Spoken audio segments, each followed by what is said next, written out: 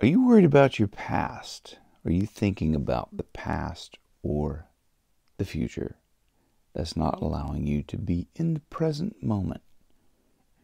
Jesus said, Let the dead bury their dead. That was about the past. Don't worry about the past. Do not think about that.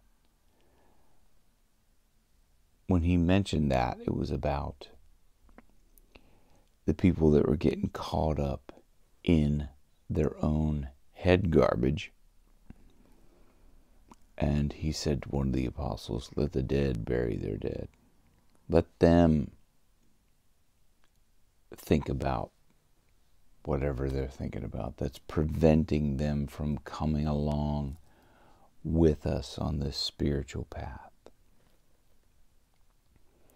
I find that very soothing when when uh, when I'm trying to get like a, uh, the word out there to say you can control your future, you can heal yourself, you can live and be happy. It's just a choice. But those people that choose to hang on to their stories, their past stories, their BS, their reasons why they can't be happy, that's what Jesus meant by let the dead bury their dead. Forget about it. You can't you can't carry everybody into the promised land. When they realize those people that, you know, if you're on this path like I am and you're you are a a you realize you're a light worker, a a cosmic being. When you realize that and you then you look to others who haven't realized that and you try to with all your might to try to get them to see, to crack their eyes open, to crack their ears open, but they won't budge. That's what's meant. Let the dead bury their dead. They're like, can't. Sorry, you got to cut your cut your losses and and move on. Not that you don't love them. Choose to love them, but you cannot allow yourself to not go down a path because somebody else wants to drag you back into what used to be.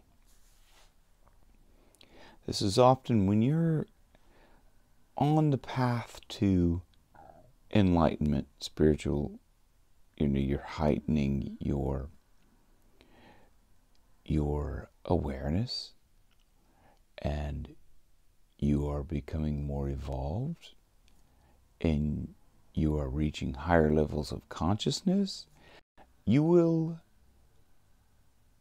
be in contact with people who maybe you used to know before you started down the path. And when you're in touch with those people, those people want to drag you back into the past. They'll be like, oh, that's not like you and they're trying to tell you what or how you are. But you've come to realize that what they thought you were, you are not that. But they're trying to put you back in that that candy shell. They're trying to drag you back into that. Go, no, no, no, no, you don't do this. Is weird. This is weird. You're not like this. This is not like you. You're not acting like yourself. What's wrong with you?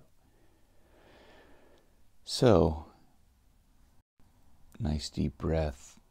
Realize that what frame of mind they're coming from is fear. They don't understand this, they don't know it. It's out of their comfort zone to even think some of these things. So, be fine with it. But do not go back into that candy shell. Besides, I don't think you can actually go back into that that lovely candy shell. You've got a new candy shell. You're moving in the right direction. But don't allow them to try and drag you back into that past, into what that old construct of you was. You're wakening up.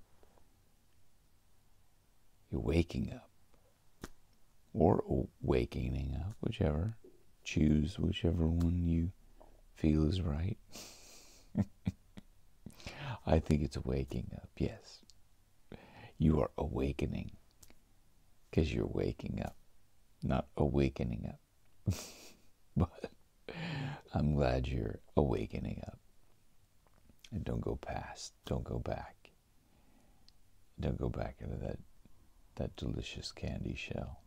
You got a new shell, which is no shell, which is just your pure, beautiful, enlightened self. That positive, pure you that's you. Much love to you. Namaste.